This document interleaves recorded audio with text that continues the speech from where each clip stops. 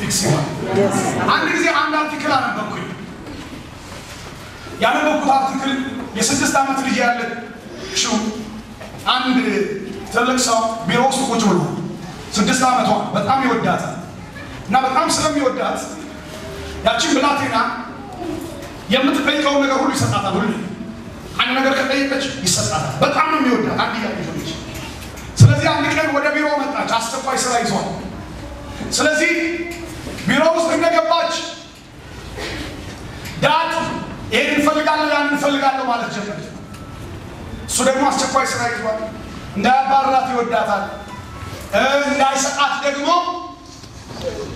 አስቸኳይ ስራ አለ። ስለዚህ አንድ መላ ይፈልግና ትዝ ሲለው ግድግዳው ላይ የተሰቀለ አንድ የዓለም ካርታ ያወርድና የዓለሙን ካርታ ንቅል አድርጎ ያወርድና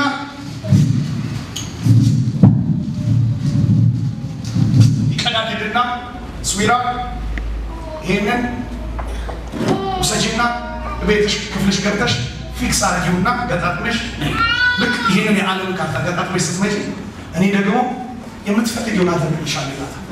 የስድስት ዓመት ልጅ በጣም እንግዲህ የዋህ ብድግ አደረገችና thank you dad ብላ ይዛ ወደ ክፍሏ ሄደች ማለት ነው። የዓለም ካርታ ልትገጣጥም ማለት ነው። ወደ ክፍሏ ስትሄድ እሱ የሚያስበው ነገር እርግጠኛ ሆኖ አይደለም በአንድ ሰዓት ውስጥ አይደለም በአንድ ቀን ውስጥ በአንድ ዓመትም ላትመለስ ትችላለች። ያንን ገጣጥማ ምክንያቱም የዓለምን ካርታ እንዴት አድርጋ ትገጣጥማለች? የስድስት ዓመት ልጅ አስቡ። እንኳን እሷ እኔ እንኳን አሁን ገጣጥም ብትሉ የምድር ወገብ የቱ ጋር እንደሆነ አላውቅም። የምድር ቁርጭምጭሚት የቱ ጋር እንደሆነ አይመጣልኝ። ምናልባት የምድር ወገብ ሲሰመር የነበሩ ወገኖች ካልሆኑ በስተቀር ነበር እንጂ የለም። ከባድ ነው። ከዛ ሰጣትና እሷ ወደ ክፍሏ ስትሄድ እሱ ቀጥታ ስራውን መስራት ጀመረ። ከአምስት ደቂቃ በኋላ በሩ ተንኳኳ። ሲንኳኳ ደነገጠና it's me አለች። it's me dad አለች። ምን ነው የምትፈልጊው አሁን? ሂጂና እሱ ፊክስ አድርጊ ሲላት ጨርሻለሁ አለች። ምን ጨርሻለሁ fix አድርጊ already I'm done it's already fixed አለች አለና በሩን ከፍቶ ማየት ነበረበት። ብዙዎቻችሁ አሁን እንደምታስቡት በዚህ ሰዓት ወይ መልአክ መጥቶ አገዛት ወይ እናቷ አገዘቻት ወይም ደግሞ የሆነ ሰው አገዛት ብላችሁ እንደምታስቡ እርግጠኛ ከዛ ሰውየው ልያልና አባትየው በሩን ሲከፍት በፕላስተር የተለጣጠፈ በደንብ አድርጎ fix የተደረገ የዓለም ካርታ ይዛ ቆማለች። በፕላስተር ለጥፈው who did this to you? ሲላት ማንም ራሴ ያደረኩት እንዴት አደረግሽው?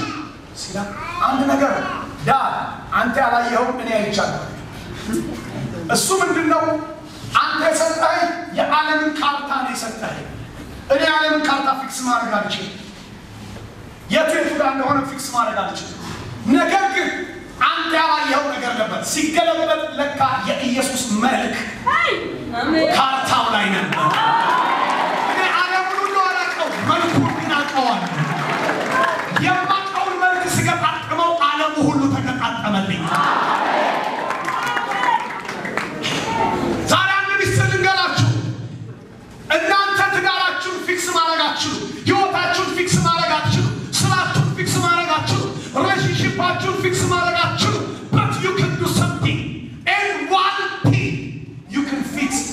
image of Christ in your life. Amen. You can fix his image in your life. You can fix your world. Amen.